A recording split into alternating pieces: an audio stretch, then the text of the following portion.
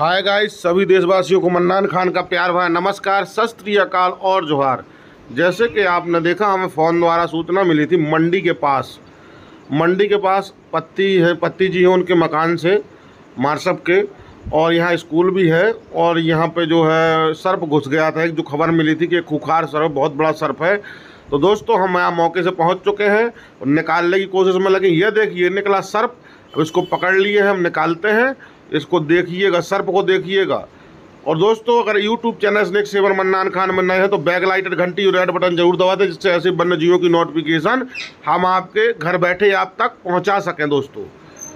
और एक सी एक video YouTube channel snake saver Mannan Khan में अपने चा, अपना चैनल आपका चैनल अपना चैनल।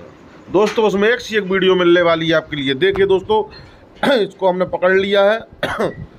और ये रहा मध्य प्रदेश का देसी पटा पिटारा। इसमें जाएगा, ये होगा बंद।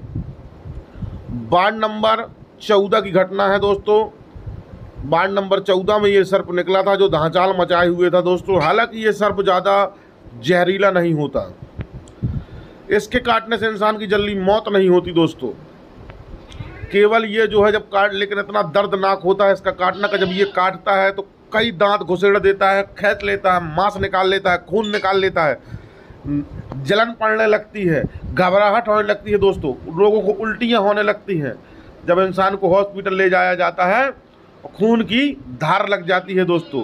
इतना होता है ये जहरीला एक खतरनाक सर्प। दोस्तों YouTube channel snake saver Mannan खरम फिर मिलेंगे अगली वीडियो के साथ।